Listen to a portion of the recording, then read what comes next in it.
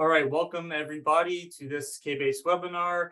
My name is Benjamin Allen. I am a uh, technician for the KBase project uh, based out in Oak Ridge National Lab. Today we're going to be talking about uh, drafting isolate genomes in KBase and some of the unique tools that we have to really make uh, great genomes to to not just um, assemble them, but Im- improve those assemblies and really uh, make something high quality uh, to share with everybody. Um, so this is the tutorial we will be looking at today. Uh, you can find this um, in KBase by going from the uh, narratives navigator section. You can go to the tutorials and uh, right now it's at the top, but it's called microbial genomics in KBase. And this is the first in a series of trainings and tutorials we're making for uh, microbiologists to uh, learn how to use some of the uh, tools in the system and run through some of the common workflows that you might find useful for your research. Um, so this kind of lays out some of the basic information about this training and what we're looking to do here, but I'm just going to kind of jump right into it since we've got a lot to cover. Um, so right with the advent of next gen sequencing technology we have uh, generated lots and lots and lots of uh, dna sequences for all sorts of organisms. And um, with the advances in com- computational technology we are able to um, produce uh, assembled and annotated genomes for that sequencing data um, faster than ever. And um, so part of the challenge that we have is um, not just how do we make those genomes, how do we uh, how do we make them high quality, and how do we share the highest quality genomes that we can make with the broader community of researchers that might be interested in the same kind of uh, scientific questions we are looking at.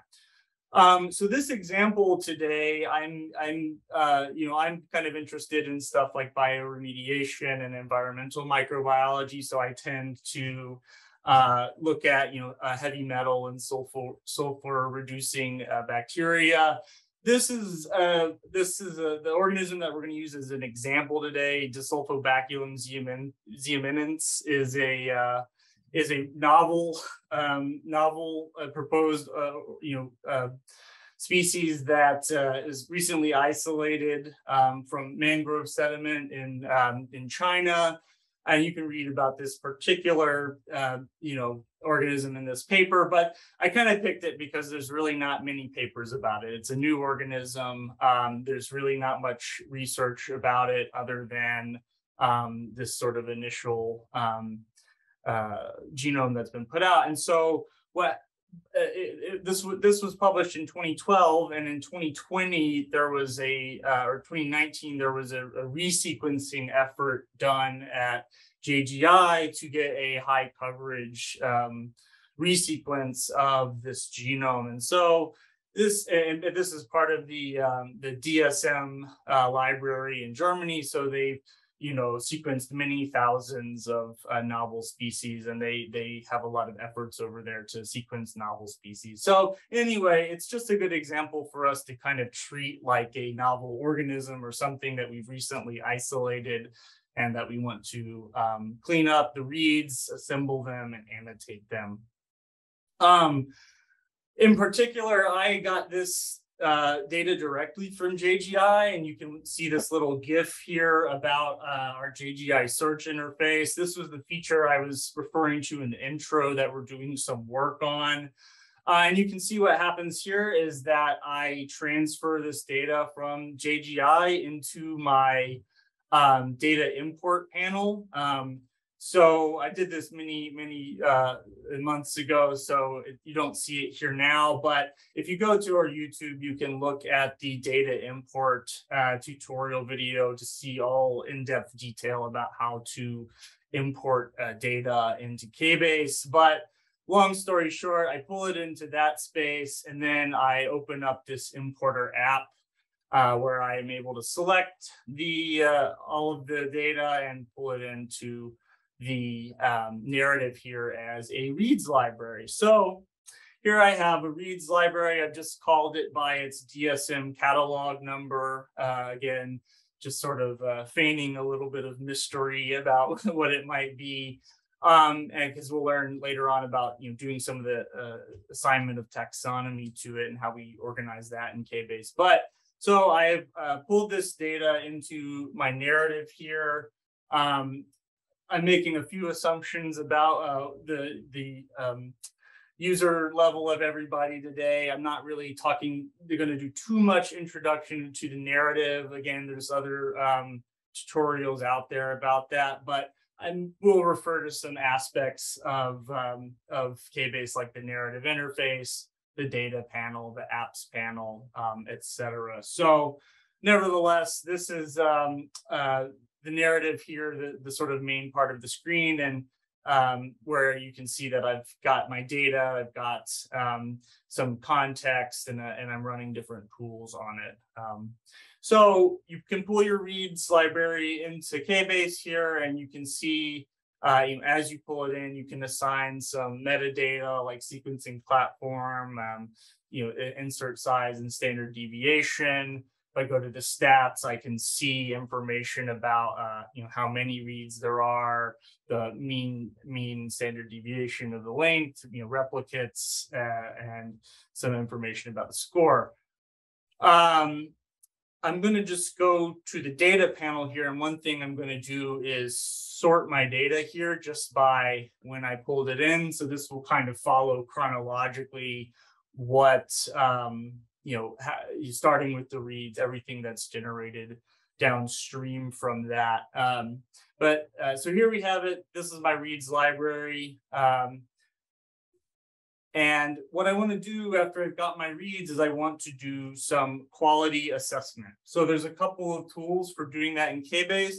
Most of the uh, tools in this section you're going to find uh, in the apps uh, panel here under read processing. So you can just see there's a lot of different uh, tools down here.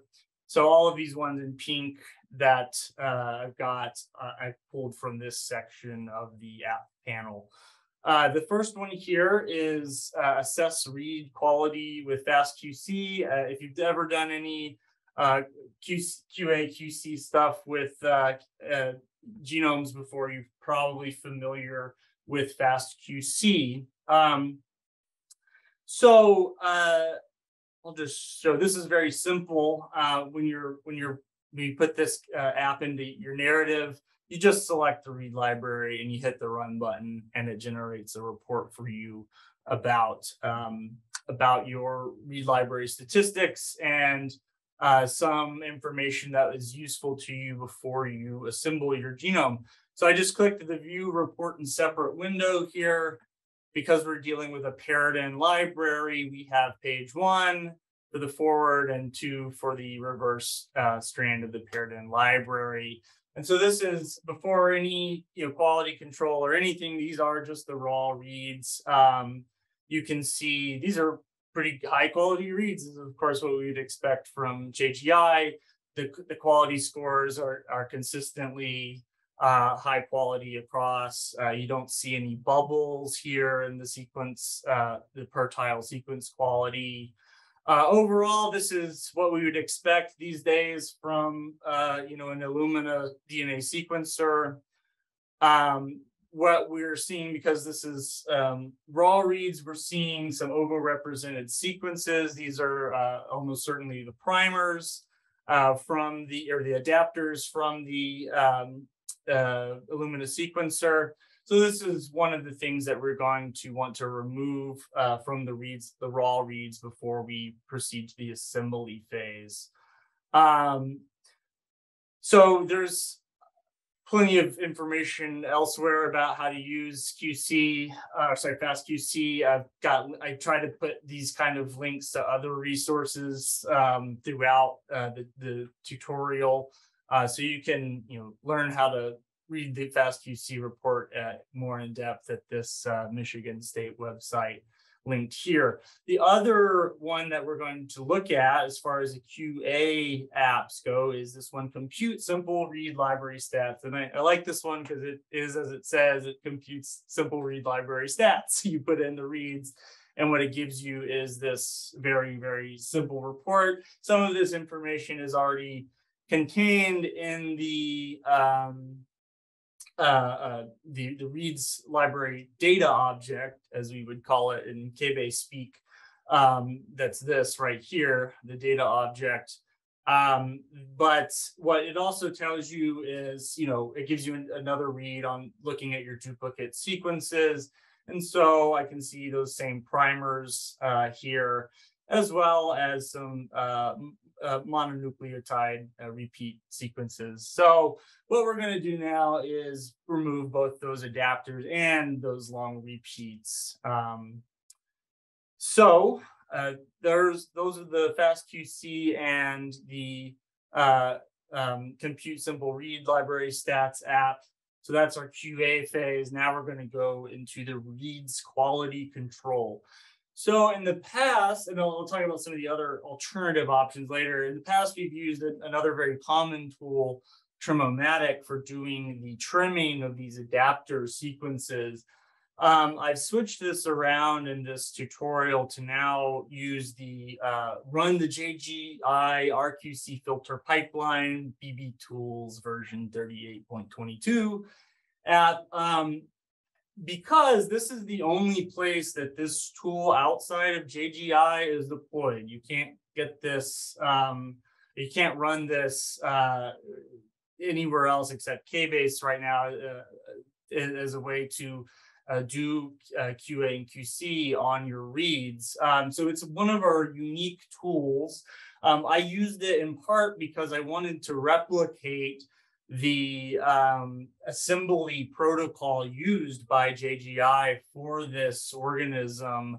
And of course, they're using the in-house tool. So I'm also using their uh, in-house tool that we have uh, unique to KBase uh, to do this. Um, so this tool does uh, a couple of it's sort of a, a, um, a do-it-all pipeline tool. That's part of why I like it is because instead of having to run many apps, um, you can run uh, one app and get cleaned data.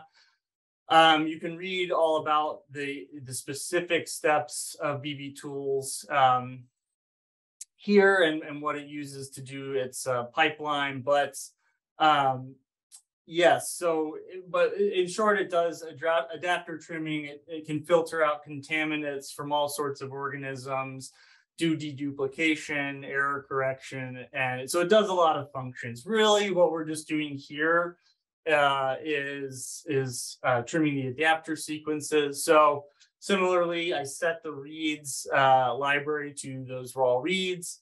Uh, for Illumina, library fragment is is what you're going to want here. Um, I don't recommend changing that. Um,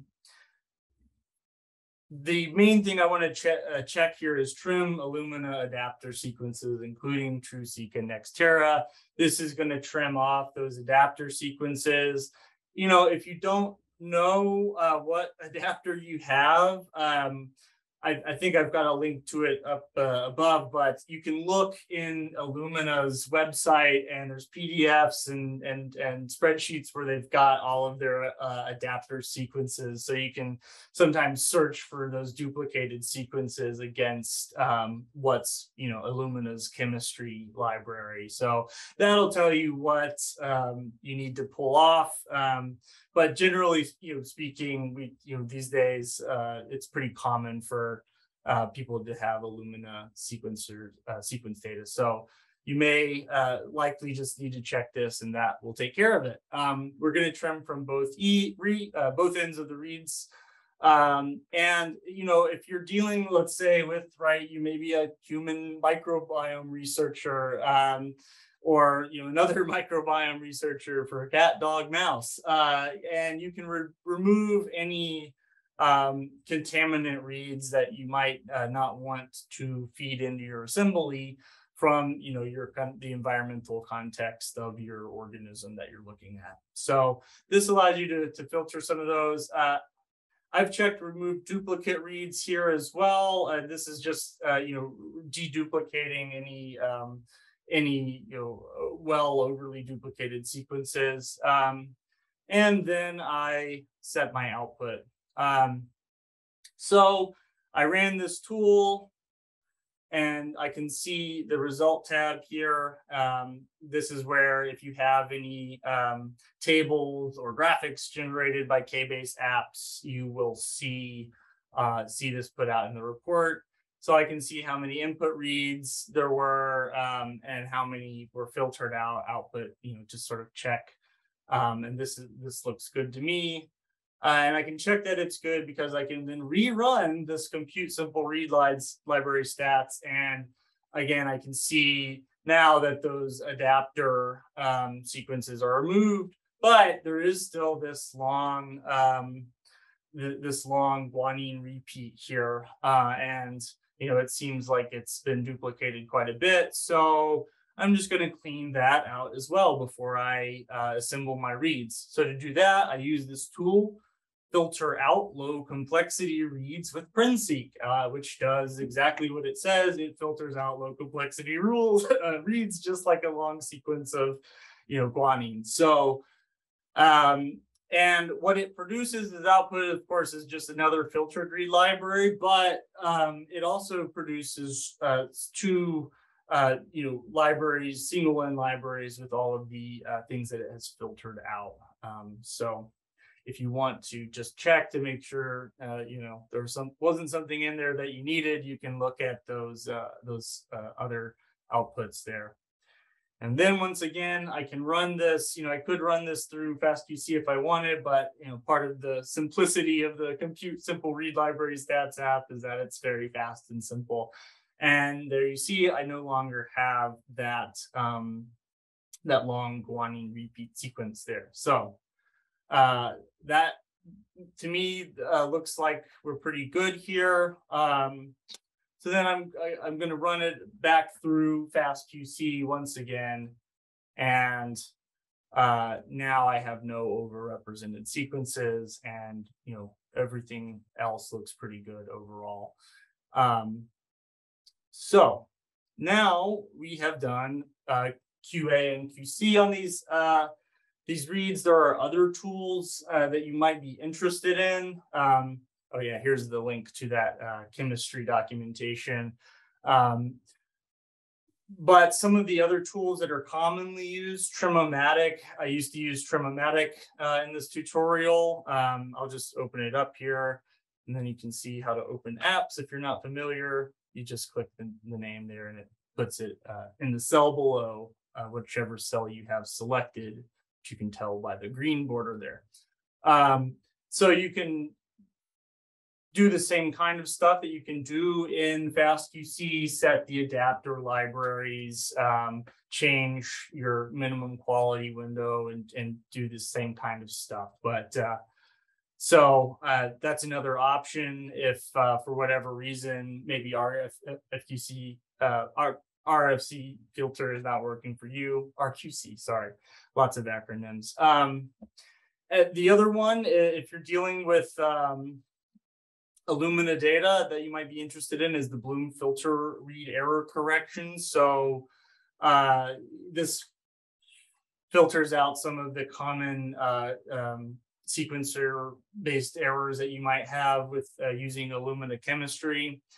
And finally, if you just whatever you run all these tools and if maybe you have really old data or something that uh, you know isn't using uh, you know modern chemistry uh, you can use cut adapt which is very straightforward um, you tell it the the input reads and then you type in manually the sequence that you want to remove and filter from each uh, end of the uh, adapters and it will remove that so that's sort of the most granular level uh, you can get to with um, doing some of the filtering in, in KBase. All right, so that's the QA QC phase of this process. Now we've uh, so just to review, we've we've taken a look at our reads and we've cleaned them up. Uh, for this example, you know, I didn't. We maybe will make an example of some uh, uh, nastier reads uh, later on because these were very high quality reads. Um, so, but you know, you we, maybe will make some examples with some more tricky data later on, but um, you know, hopefully that gives you a sense of what some of the uh, options are out there for doing this in KBase. So you'll also just see, I mean, in case you are dealing with lots of read libraries, there's some different utilities here uh, for merging or splitting read libraries, um, translating li read libraries quality scores. Um, you know, these are utilities that uh, maybe you're not um, you know may, may not use them every day but sometimes in special circumstances um, they are useful so um, but you'll find all of that stuff under the read processing category in the apps panel um, so next step is that we want to do de novo assembly of reads. This is just a short ex explainer here about De Bruijn graphing uh, in case you're interested or your students are interested. many of you who've done this will have some degree of familiarity with it, but basically uh, what De Bruijn graphing allows us to do is um, with the short reads that get generated from Illumina sequencers uh, is able to uh, use um, specific lengths of strings of, uh, you know, ATCG to uh, which we call k-mers. Uh, so k being the value, uh, the number of, of strings that uh, uh the, uh, the, the, the number of, of characters in that string that are used to um, measure across the read the read library length and build out these you know, topographic graphs of the um, the assembly where it's trying to basically build out the longest strings possible, the longest contiguous strings possible from all of the um, sequencing data that you put in. I think a, a, good analogy, and you've probably heard this one before, but is to think of this like a jigsaw puzzle, right? We think, can think of a, building a genome like putting together a jigsaw puzzle where you get the box and you dump all of the pieces on the floor and you know there's thousands of pieces and you're tracing the edges of each one of those pieces to uh, build out the picture that you're trying to build. And not unlike a, a, a, jigsaw puzzle you know you may not need to assemble uh, 100% of the the puzzle to see, okay, well, you know, that looks like the Eiffel Tower or the Mona Lisa or whatever the, the, the puzzle is representing. So genomics is very similar in that we may not get a perfect assembly of, um, of a linear genome or circular genome, right? Uh, for a bacteria where, you know, our kind of general expectation that is certainly not universal, but general expectation is that uh, with with prokaryotes is that we might have uh, a single circular piece of uh, DNA that uh, contains all of the um, the genomic content of that organism. Um, so we want to. That's sort of the ideal is to get to that fully uh, assembled um, uh, genome where you have a, a, a linear genome or, or circular genome, right? You can uh, touch both ends of the lines and make a circle. Um, and we, but we of course rely on computational tools to do this um, uh, quickly these days, rather than having somebody, uh, you know, by hand and eye and mind trace out uh, and, and, do the alignment and build out the the uh, consensus sequence of the of that genome. So um, we rely on tools to do this these days. What I'm going to show you now is some of the uh, tool, tools that we can both use to generate a draft assembly and to improve that assembly. And that's sort of the uh, exciting part that I'm really excited to show you all today. Um, so again, if you've done this before, uh, you're probably familiar with spades, or maybe you've had to run spades before. Uh, this is one of the most popular and common um, and, and most well maintained and updated um, genome assemblers that we have uh, these days. Um, there's different flavors of spades for uh, isolates, for plasmids, for metagenomes, for all sorts of different uh, contexts. Um, and of course, we're using this one here to uh, do an isolate assembly here.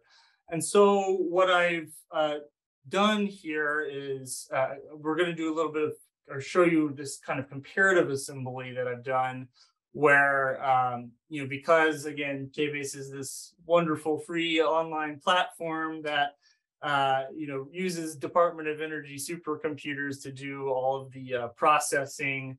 Um, you know, I can run several. I don't have to necessarily uh, be as economistic about how we are. Um, uh, you know using our, our computing power. I can run multiple jobs at once with different parameters. I can check the parameters against each other from the outputs and see which one is best. So this is something I encourage folks to do in KBase is to uh, do comparative analysis. If you don't know what the parameters are, you're trying to figure them out.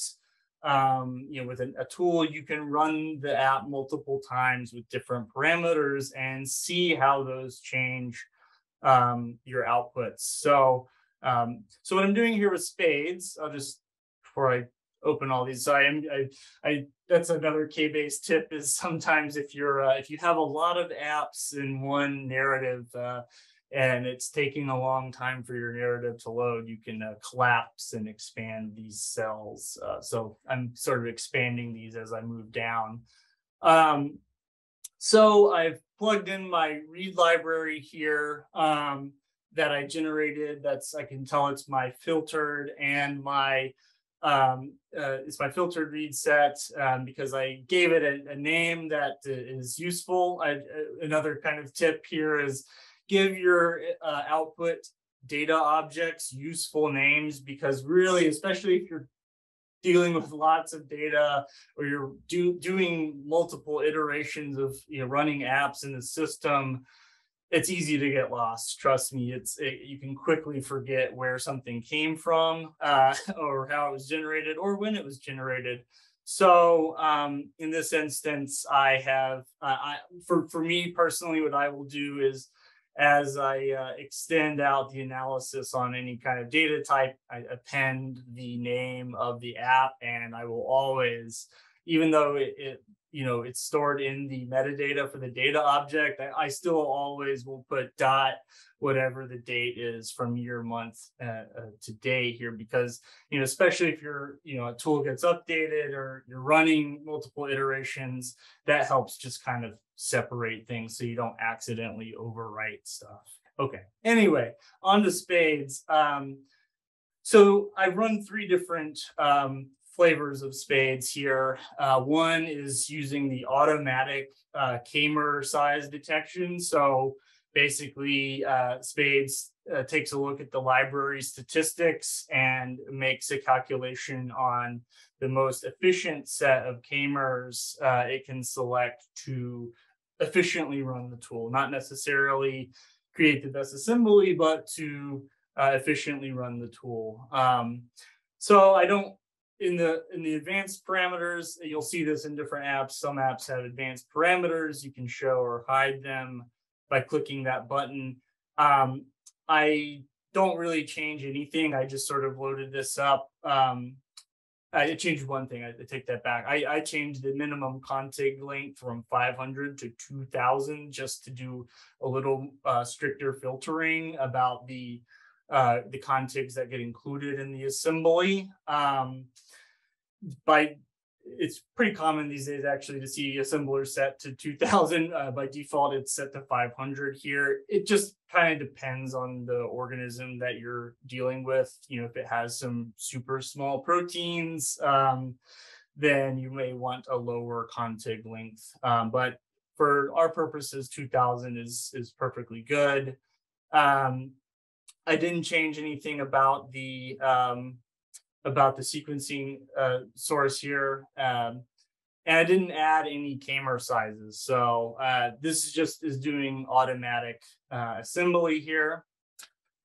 So I'll close that one. I'll show the next one here is that I, I labeled protocol. And this one, I, again, replicated the, um, uh, sorry, I just jumped over to this page, but uh, the way this was done by JGI initially. So in, in gold, you can uh, access all of the information about the sequencing, but basically uh, you can find out whatever they did in their assembly. And again, I was trying to sort of replicate their um, protocols to uh, to see if I could improve the assembly here.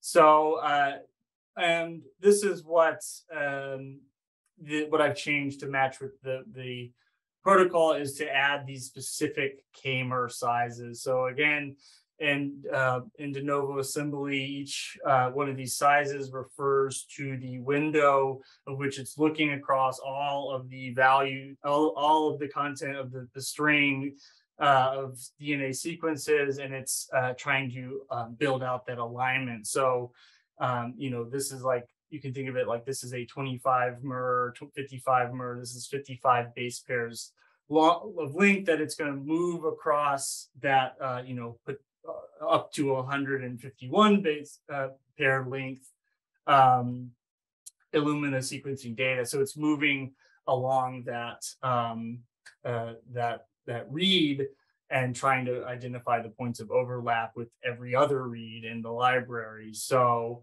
uh, so they set up to 95, and then you know I for this last one. If you look into the spades manual, it sort of tells you how to max out the K-mer values, just what it sort of recommends as the maximum values you can use with super high quality Illumina sequencing data.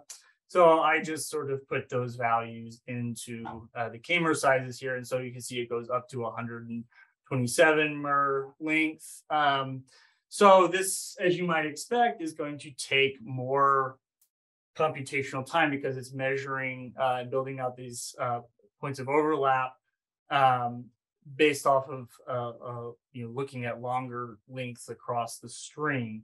And I'll show you some more stuff in KBase. Um, show.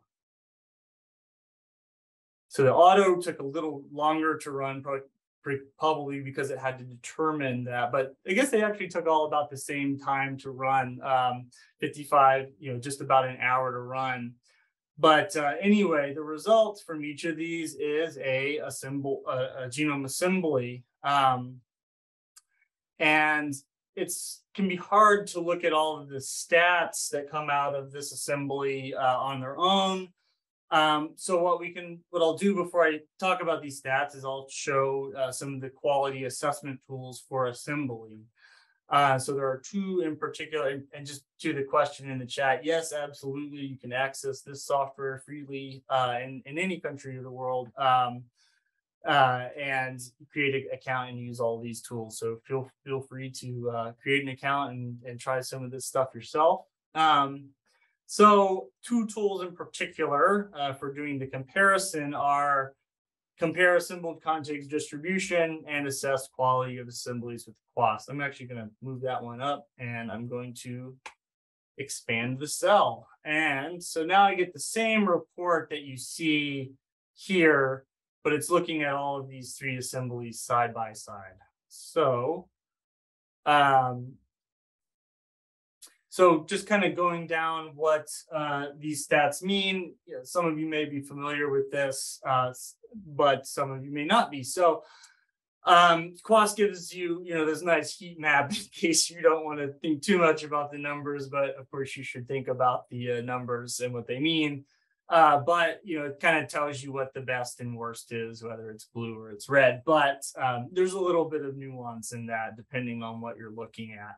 So uh, you can see I've got the automatic, the protocol parameters, and then my maximum K-mer is what I called it. Um, and uh, right, like I said, our goal with assembly is to build out the longest contiguous DNA sequence. So a contig uh, is a shorthand word for contiguous DNA sequence. And like I said, with the bacteria, what we might expect, uh, you know, theoretically, is that it's got one contiguous DNA sequence representing its whole genome. Um, so that's kind of the ideal.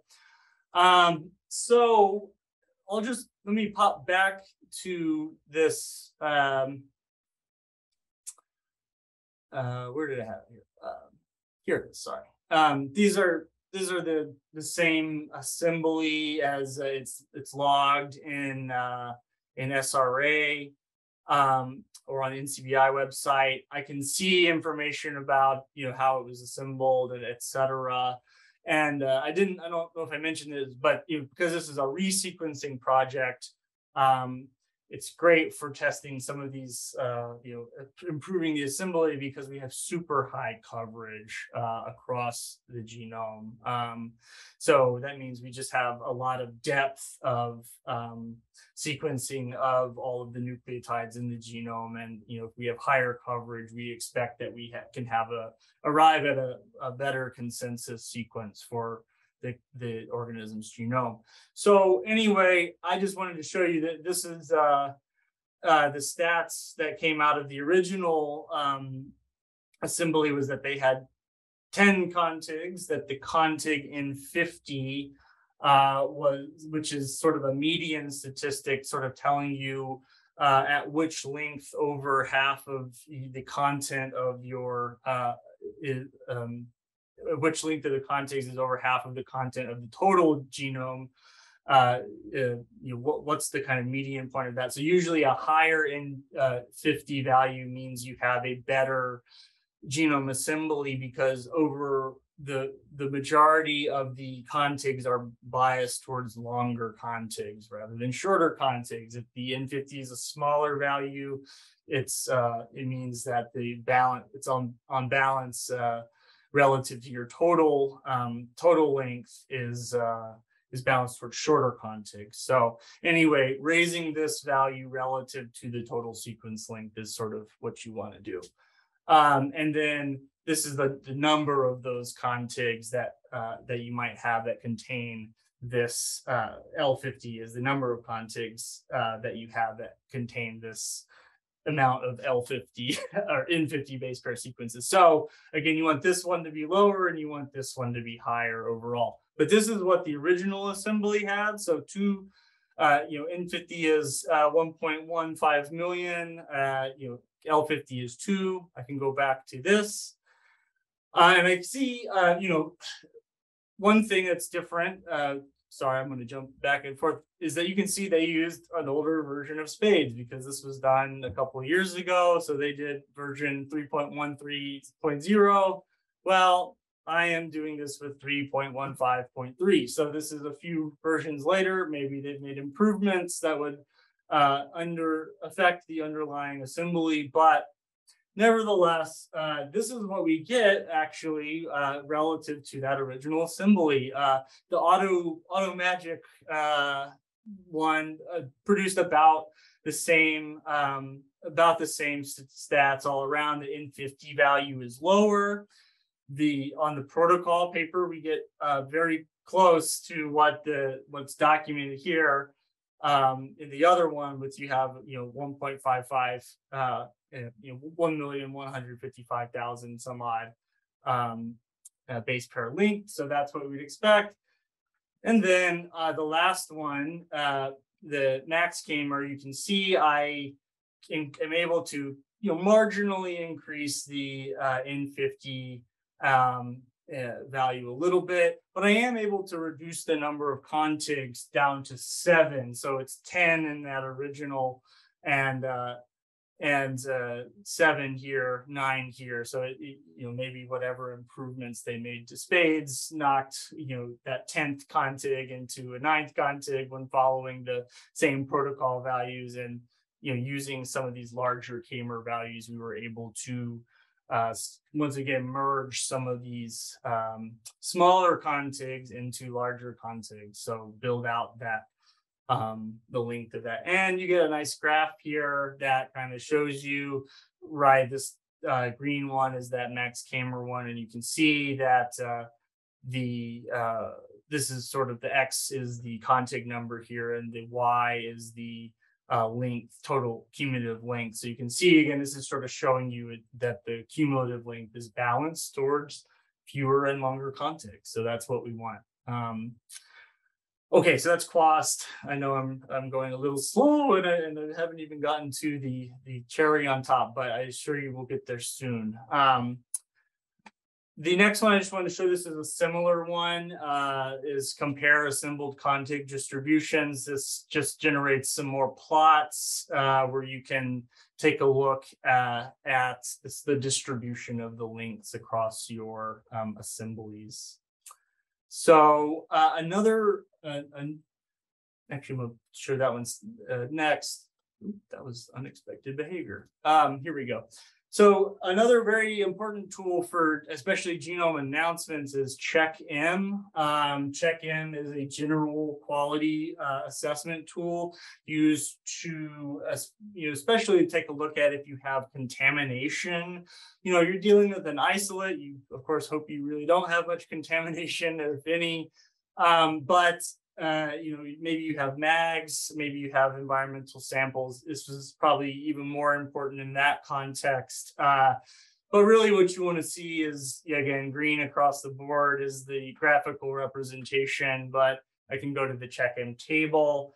And, you know, this basically uh, takes a look based off of, you know, sets of, uh, of uh, you know, markers established from looking at many, many thousands of genomes, sort of uh, how you can um, assess uh, if there's any contamination or if there, what you might expect the completeness of your genome is based off of um, the sequences that are in it. So it's really just sort of a way to assess, okay, you know, is this really uh, the isolate I'm looking for? Is there contamination or did I, you know, between assembly and filtering, did I miss anything? Um, and again, this is very clean and nice data, so it uh, looks very uh, perfect here. Uh, 100% complete and uh, less than 2% um, uh, contamination there. Uh, this next tool I'm going to show is is you you know anyone who's done genomics in the past couple of years is probably familiar with the Circos visualization tool. this is one one of uh, of two genome visualization tools that we have in KBase. Uh, I'll say, honestly, if you're trying to uh, build genome visualizations, take your data off KBase, download the Circos package on your computer, and you're going to have a lot more capability to build the beautiful uh, circular genome graph that you deserve uh, for your publication. But we're, uh, you know, part of that is just because we are uh, working a lot on more on the back end data stuff and trying to build out some of the you know automated analytical features uh, right now more than we are uh, adding a lot of new visualization capability but nevertheless uh, this is a uh, an iteration of circos that we've put in to uh, KBase to allow you to visualize uh, your your assemblies. Um, Right now, you can find this in the beta app. So if you see my mouse hovering over the R in the apps panel here, I click this, and now I have all of the beta apps. Um, so I can type in Circos and there you see visualize assembly coverage using Circos. So now I've taken the um, output of spades, I've plugged it into this and uh, you know, this is like I said, a super high coverage um, uh, genome. So uh, the you, you, know, you might have some other colors here for where it's green if it was low coverage, uh, indicating the coverage, but uh, you can see those seven contigs and, and, and visualize the length of those seven contigs. And so you've got five decently sized one and then two um, you know small contigs here that might be uh, points of investigation later on. Um, and this graph will come back later on. Um, say for anyone timing, you know, I know we're at the top of the hour here. Uh, probably got another 15 minutes um, if you can stick around that long. Um, but uh, so between these tools, you can really uh, get a good sense of like, did I uh, build a high quality assembly uh, or not. Um, so um, the last part here is uh, doing annotation of that assembly. So right, we uh, we've built out uh, you know long strings of uh, DNA sequence uh, as long as we think we can using our assemblers to represent our organism's genome. And now we want to uh, take a look at all of that content and assign terms uh, to this organism and its content and say, well, this is what the organism is, and this is what the genes inside the organism are, and this is what we're calling it. So one of the ways we can do that is with um, uh, annotation tools, and uh, you know what what these tools essentially do is take a look at the sequence you've assembled. They identify where, uh, you know, the start and stop sequences um, of your nucleotides are, and then it layers, adds layers of information on top of that, including, you know, terms for the functional, for any protein that might be produced by that sequence. Um, you know, so it, it adds it adds both term uh, uh, adds layers for both the um, coding DNA sequence, the MRA uh, sequence um, as well um, for any um, you know any uh, feature identified in that genome. So right now, um, let me go back to the release tools here and uh, get rid of my search. Um, you'll find all of these tools in genome annotation. Uh, maybe I should have mentioned too with the assembly, you will of course find those tools in genome assembly, and you can see there's a lot of different uh, assemblers in there, uh, including some that are unique to KBase like uh, HipMer as far as you know public access goes. So there may be other assemblers for you depending on the data that you have. Maybe you have long and short reads, and so you can use hybrid spades. Um, uh, or unicycler or uh, HipMer, et cetera. But uh, we're talking about annotation now. So genome annotation, uh, the main two tools for genome annotation that we have um, for prokaryotes, we have one called Prokka. Um, some of you may be familiar with Prokka. Um, it, you can see in some of these notes, maybe we argue that uh, for just general feature analysis, Prokka might be the stronger of the two um, tools that we have. The second tool being RAST, um, the rapid annotation uh, using subset sub. Um, oh, I can't even remember now. uh, subsystems technology. Yeah, that's it. Um, tool, and that is important. Uh, we're actually rebuilding Rast right now. It's being recoded. Um, so I think uh, we're going to see, and probably in the next year, a, a, new version of this. And you know, you'll see over in the apps panel, there's a you know a couple of different versions of Rast actually. So we're going to be consolidating these tools and um, and yeah, but they're I think the, they're trying to migrate some of the code from Perl to Python, and uh, you know, KBase is a very Python friendly system. Um, in this whole uh, interface here is actually built on Jupyter Notebook. So anyway, we like to sort of snap things into the Python language. Um, anyway, so for uh, annotation, there's a these are our two main annotation apps. Um, but one thing I just want to say before we do the annotation is that in KBase, when you go from uh, your reads to your assembly to then your annotated genome here, which I'm just trying to show these in the data panel here. Um, you have to assign to your genome a taxonomic value. You need to specify down to the best of your ability what organism uh, is it that you have here because um, in the genome data objects in KBase there is uh, a taxonomic uh, hierarchy that gets established with them. So uh, so that some of the tools that we are making for our automated analysis are uh, able to um, ac- accurately compare you know apples to apples as far as what uh, the assertion of what the taxonomy of any given organism is.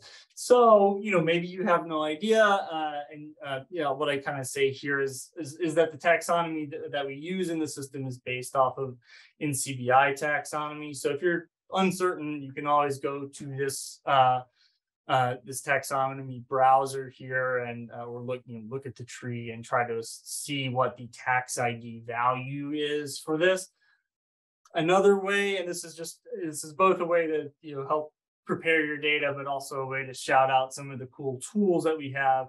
one of the ways you can do this, if you're saying, oh, I don't know what it is, or I, I need an assertion of what the uh, taxonomy is, is you can use uh, GTDBK, uh, GTDBTK, that is, uh, which is the Genome Taxonomy Database, um, which is a fantastic tool that's becoming very popular in the taxonomy space. Um, it has its own, you know, curated library, uses a combination of of um, you know reference gene calls as well as topographic um, and ANI scoring uh, analysis to make taxonomic calls. So you can do this without an annotated uh, genome. You can do this with just an assembly. So I say that I'll show you why that matters here in a second. Um, but just so you know, we're sort of pretending we don't know what this organism is uh, from the DSM catalog. Uh, I plug it into GTDBK,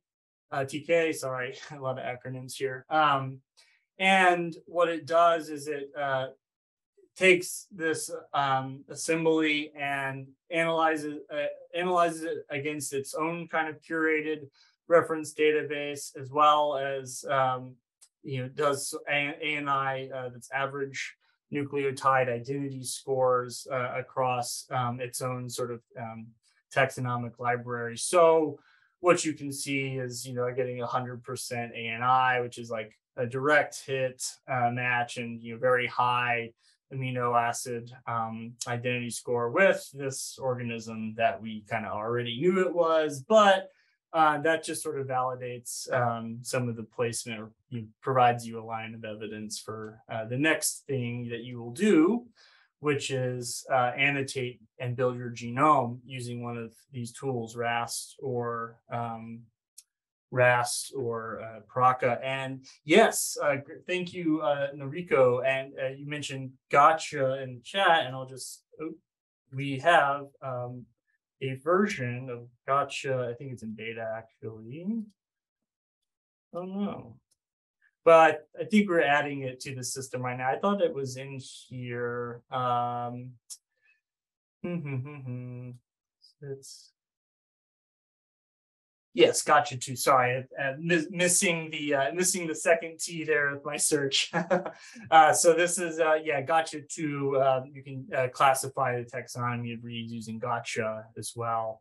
So thanks for that tip in the chat there. Um, yep. Uh, so um, uh, th thanks everyone for staying with me. I've got just another 10 minutes here and we'll get to the end of it. But uh, anyway, so you can, so when you are doing your genome annotation in KBase, right, we select our uh, genome or we select our assembly, or if you have a genome that you wish to re-annotate, you can uh, re-annotate it using the annotate genome slash assembly with RAST TK tool. I select my assembly.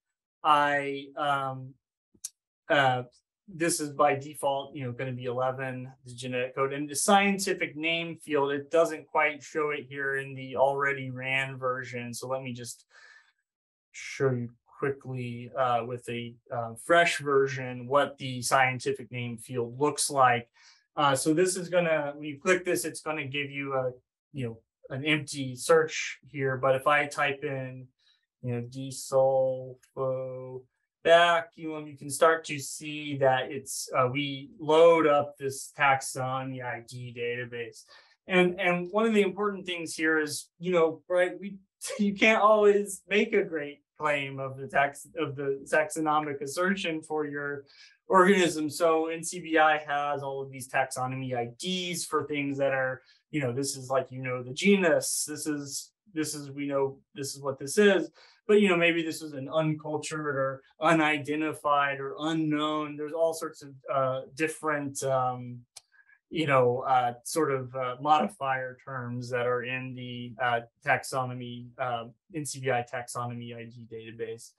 Uh, anyway i just showing how both of these tools uh, look um, so this is this is the annotation report from RAST. Uh, again, you can open this report in a separate window, do some more searching on it. It looks a little different with Prokka.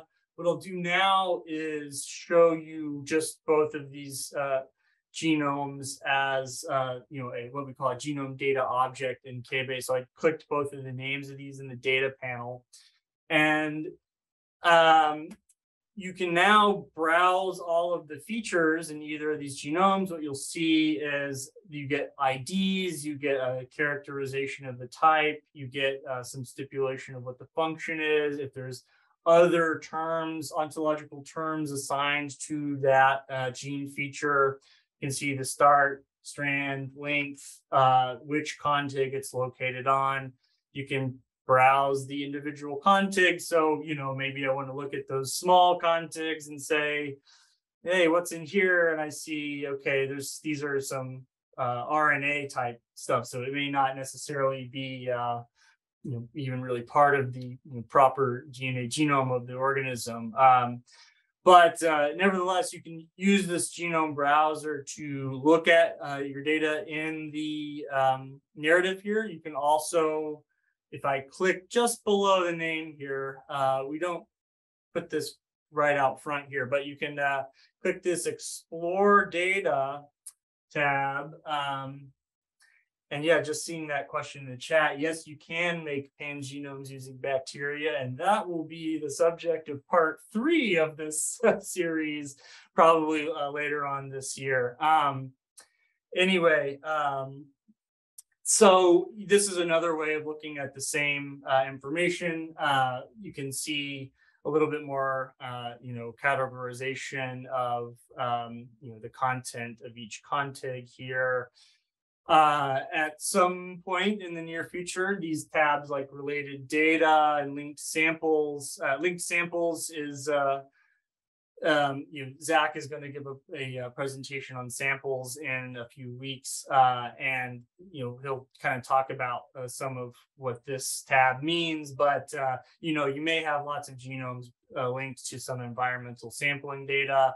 We'll also, with some of this, what we're building with the you know, what we're calling the knowledge engine, this related data, we hope will uh, soon shine bright, full of hits to this organism and other things one of the other nice things about KBase is uh, is that we have uh, really good provenance tracking. So what you're looking at here is um, a sort of a provenance flow from of the origins and, and endpoints of this uh, data that we're dealing with here. So I can at each one of these phases, I can see stuff about the parameters used. I can, you know, this is really important for the reproducibility factor for, you know, you know, how was this genome made, you know, five years ago versus now, or what, what did they run? You know, you can track this kind of stuff uh, a lot better in KBase um, than some of the other things that are out there, uh, in in my humble opinion. um, and so, yeah. Anyway, uh, again, like I said, there's really not many uh, publications about this, but you can. Uh, this will search uh, the um, I can't remember the name of the tool, but there's a, a publication search uh, attached to the genome level here. Um, anyway, so that was the RAST genome we're looking at. Just to give you a little bit of the sense of difference, uh, you can see uh, in the Prokka genome, there's a little bit of difference in terms of how the feature IDs are labeled, uh, how it um, you know what it has uh, stipulated as the function for these things. You know if i want to search for something i can type uh, a term in whether that's an alias or a functional term or a feature id it will filter the list um, down to that. And you know maybe i can uh, look at the individual gene there and then i see uh, a little more granular information about uh, what uh, is, is in in at you know the gene level for this. Okay, so that is uh, the we, we've done QA and QC uh, on our reads. We built an assembly. We built a genome now. This is the exciting part. I uh, I'm glad uh, some of you stuck around for this because this is sort of like debuting a tool that uh, is also. UKBase is one of the few places this is uh, deployed uh, besides the GitHub um, for it, and uh, we it's currently in beta. Uh, and if and you know one of the asks to all of you today is to help us um, and you know beta test this tool so that we can uh, make it a full release soon. Uh, and so this is Jorg. Um, it was built by um, a lot of people, but uh, in particular, Lauren Lui at uh, um, Lawrence Berkeley Lab uh, is one of the lead uh, authors of this tool. You can read about the publication here. Um, you can go to the GitHub um, and and you look at uh, different stuff about it. And even we've got this great profile of Lauren on our site. So, hey, if you're ever using KBase and you to success and you would like us to write a highlight about your work, let us know. We're happy to do that um, for uh, these kind of exciting projects. But so Jorg is a interesting tool because it um, does two things. It's meant to both improve assemblies uh, and to and attempts to circular circularize them. So, as they kind of say in their paper, they see uh, you know the design of this tool was to, you know, as genome science and technology has changed over the years, right? Like many years ago uh, in the 90s you know uh, you would be really trying to you know to, to to demonstrate that you had really sequenced and you know built out a genome. You would be really trying your best to uh,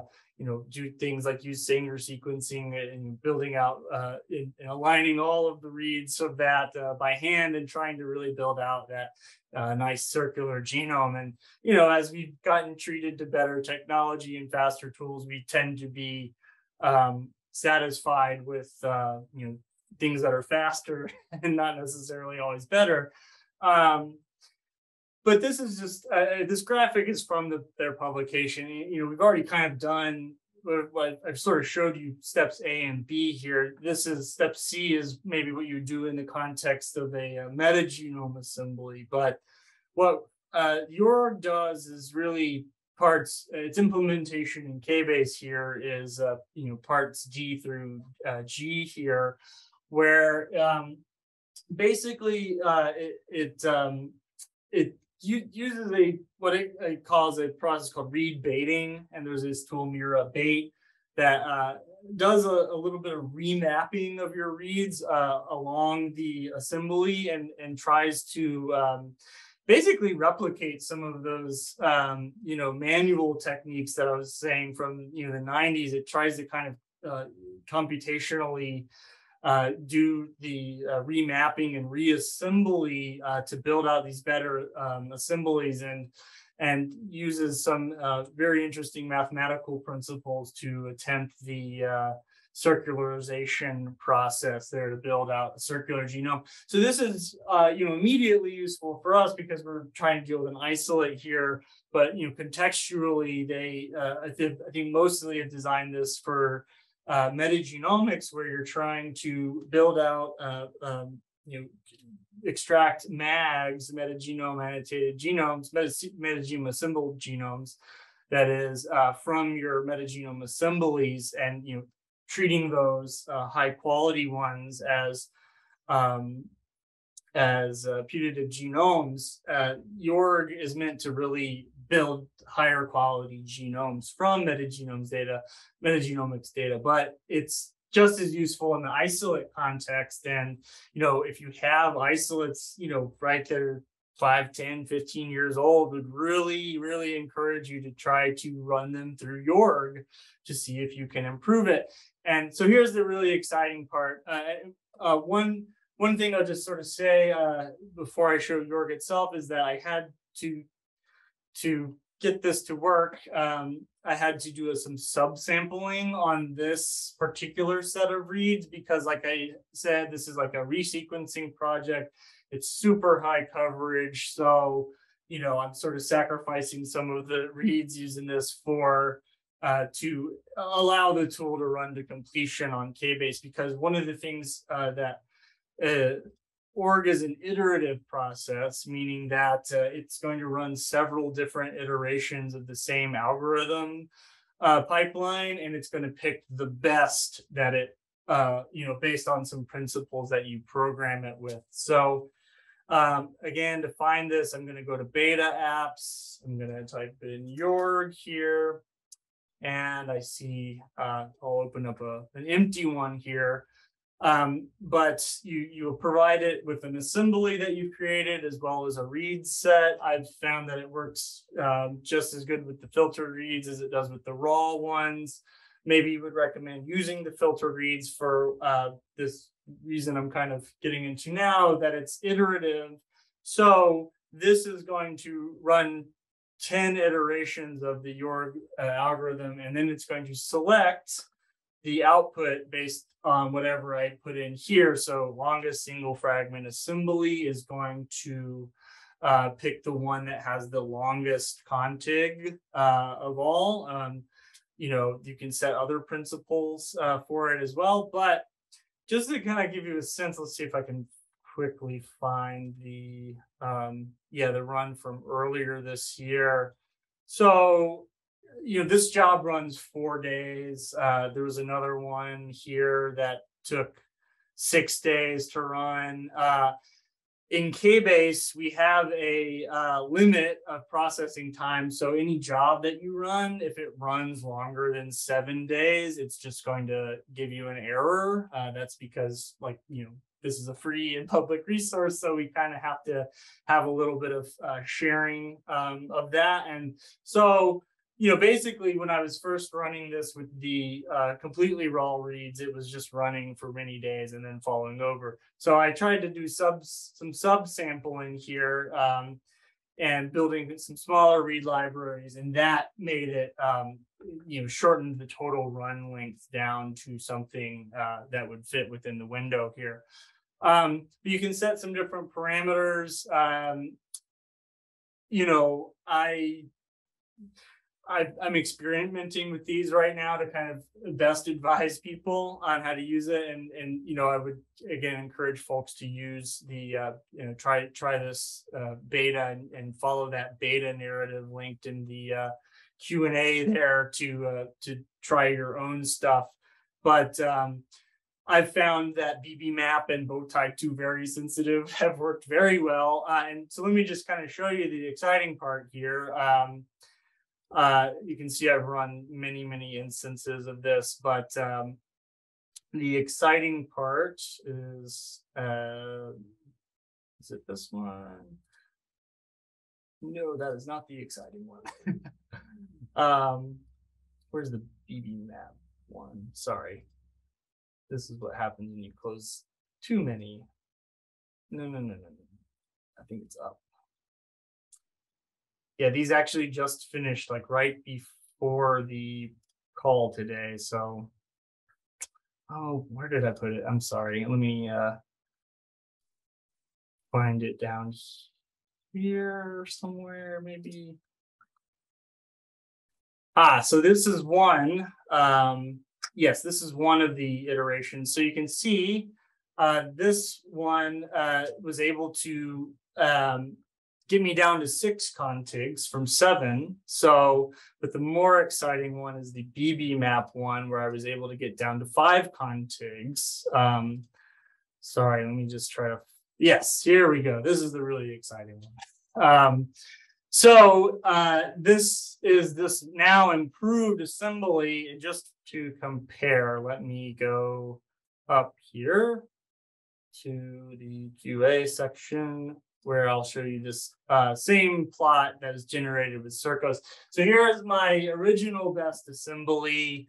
Um, and this is after running um, Jorg, where you can see uh, it was able to merge um, some of these smaller contigs um, into fewer contigs. So it's been able to build out this uh, genome uh, a little more. It was not able to circularize it. Um, and um, yeah, so just to that question in the chat, I mean, the main thing that I've seen is just that using the default um, um, uh, Bowtie setting has sometimes what it's done is generated uh, basically the same genome that I plugged into it. and, uh, and, and then with using BBMap or the very sensitive setting on, on BBTools in that selection window, it's uh, been able to um, do some better alignment basically uh, and and generate some better uh, outputs.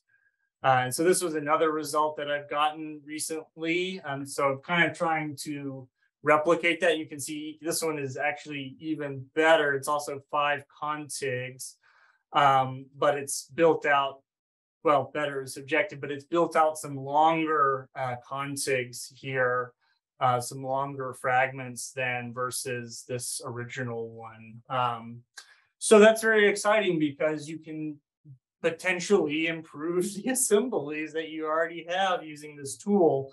Um, and like I said, you may want to play around with some of the um, uh, parameters here. Like I have found that, uh, you know, 10 iterations is a lot. So, and, and, and when you look at some of the um, content of the outputs of this like you'll uh, so in the output you both get this report um, there's a few errors right? Uh, this is why this isn't beta because this should show an object here that it does indeed produce uh, sorry it produces these objects here uh, you know new assemblies. So it should show that but it's in beta so it doesn't. Um, in addition to this report you know you can download this zip file and what this will give you is information about you know all of the iterations it ran all of the the outcomes that it uh that it was able to um, generate before it picked you know the best one based off of um, whatever you told it to to use as the principle for selecting that. So um yeah again this is the one uh, it, it, this is uh, basically a unique tool uh, to KBase right now. It is publicly out there. You can download it, the GitHub repo, uh, repo and, and you know install it on your system uh, if you want to do it in, in command line. But if you don't want to do that, this is uh, available in KBase as a beta app. And again, I would encourage you all to um, check this uh, your beta test narrative and you know run some data that you have through it. Um, and so anyway, just I also, you know, re-annotate this. You can compare, uh, you know, if you're running this and you want to make sure that you haven't, you know, see if there's any more proteins that were able genes predicted or anything. You know, you can of course re-annotate it and use that as your um, use that as your genome. But uh, so um, anyway, so what we've done here uh, is we've taken our reads, done QA, QC to them, we've assembled them, we've annotated them, we've improved that genome. I'll say this, uh, uh, and, and now maybe we want to, uh, you know, take that genome and put it in a, another phylogenetic context. This is just kind of like initial, an initial thing you can do with your new genome. Uh, you know, you can build out a tree for it using this um, insert genome into species tree app. So this, you know, just one quick note on some of the you know differences in taxonomic assertion.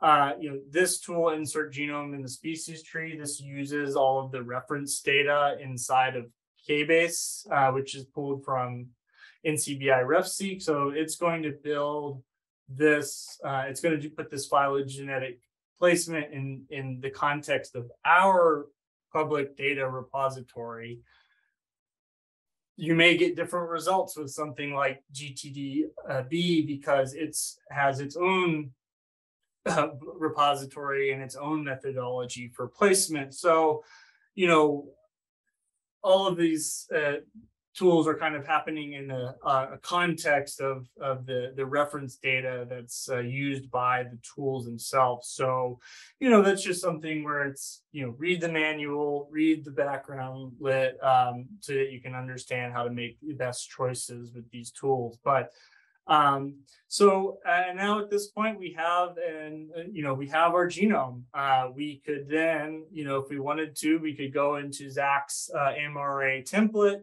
we could prepare it for publication. We could uh, you know i could take this narrative and i could create a static narrative from it um, that i might share in that publication um, or even just a link to uh, the public narrative that i have here. Um, you know and, and so now I, I, I might be ready to actually announce that genome. Um, so uh, that's kind of it. And I appreciate y'all for staying with me a little over the hour. It's a lot of information here, but uh, I really hope that this is thorough as far as uh, building your own genomes in KBase. So um, yeah, I'm going to take a look really quickly at the Q&A. Um, yep, sorry, I didn't show it. That's another way. FastANI, we have compute ANI with FastANI tool.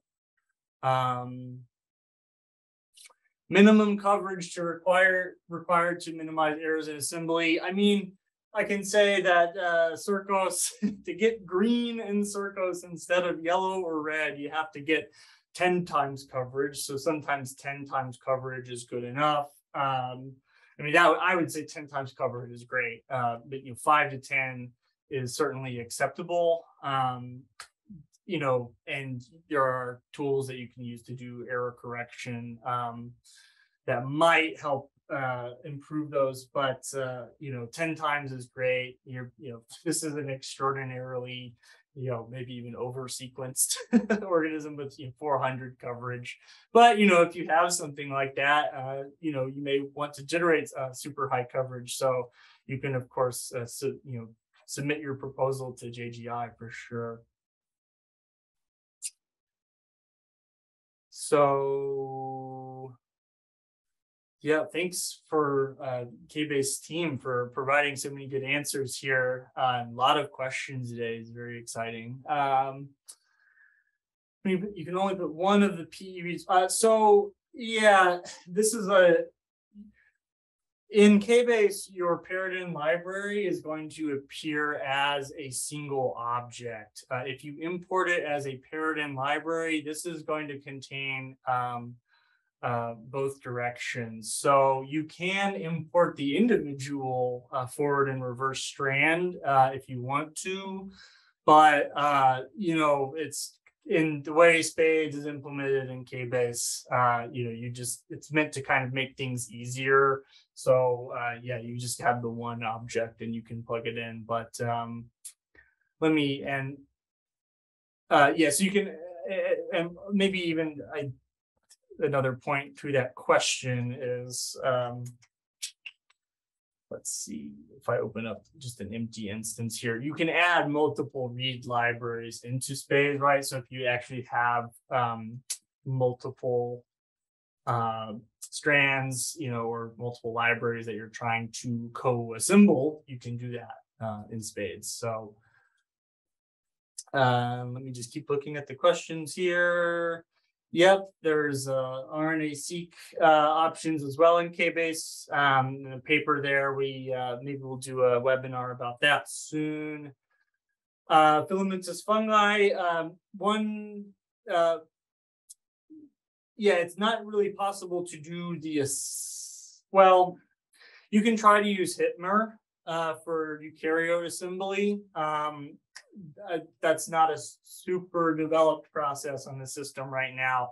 Uh, the good news, though, for fungal researchers is that um, I didn't mention this, um, but we, you know, in our public data repo, some of the data that we get from JGI is also the uh, mycocosm. So this is JGI's curated set of um, fungal genomes. So um, you can at least use these for some comparative uh, analysis uh, if you need to. Um, but uh, yeah, as far as like assembling a eukaryote uh, and annotating it, it's a little difficult. Uh, it, it's not it's not quite built out on the system right now, so it's not impossible, but it's uh, pretty difficult. So um, and to make pangenomes using bacteria, I saw that in the chat. Um, but so we'll we'll do cover building out pangenomes in the third part of this, but uh, yeah, we do have uh, OrthoMCL for building pangenomes on the system. Um, yeah, I answered that live. Thanks so much. Um, yeah, so this question, you know, plans for antibiotic resistance gene identification. So the next uh, webinar we're going to do is going to uh, teach you some of the uh, tools and tips and tricks for uh, doing gene identification, building out multiple sequence alignments and hidden Markov models and using those HMMs as the basis of searching. So uh, please attend the next one for that uh, because, you know, we don't necessarily have these you know, we have a lot of public data in the system. We don't really have like a public HMM library or a curated HMM library. That might be interesting, interesting to find out if anything like that is out there. I'm sure there are, but you can build your own uh, hidden Markov models around uh, any you know, features of interest. And yep, uh, absolutely with metagenomics. Let me just say, um, please check out if you are if you have metagenomics data, check out this genome extraction from shotgun metagenome sequence data tutorial. And uh, any day now, uh, a paper will be coming out, a protocol paper will be coming out uh, with a protocol for this. Uh, and uh, just so you know, part of the hope of uh, building out some of these microbial isolate genomic narratives is also to, to build a protocol for doing these processes in KBase. So, um, all right, I think uh, think we made it to the end, folks. Uh, so I really uh, appreciate everybody for sticking around. We had a great audience today. I think we hit about 120 something. Uh, so it, we're going to post the recording of this on our YouTube. Uh, if you want to share that with your colleagues or your students or watch it again later because I talk fast and you can run it at half speed. um, uh, but yeah, again, thank you all so much for attending today, uh, and you know, um, looking forward to seeing uh, what you all do on the system and uh, any publications that you have coming out using KBase. Um, feel free to reach out to me directly if you ever want to do any you know collaboration. Uh, if you have any questions or support tips, please check out our help board. Uh, and if you have general questions, you can always reach us at uh, engage at kbase.us. Uh, once again, my name is Benjamin Allen. I'm here at Oak Ridge National Laboratory. You can email me here uh, if you have any uh, follow-up things you need. Um, and, but yeah, thank you all so much and have a great rest of your day and uh, and hopefully for all of you at the university, you're having a good start of your semester. So thank you so much. Thanks for watching this webinar. For more webinars and tutorials, subscribe to our YouTube channel. You can see announcements for upcoming webinars and recordings for previous webinars on our website at kbase.us learn. Let us know in the comments what content you'd like to see in future webinars. Be sure to follow us on Twitter at DOE And if you have questions or encounter an error when using KBase, please contact the help desk.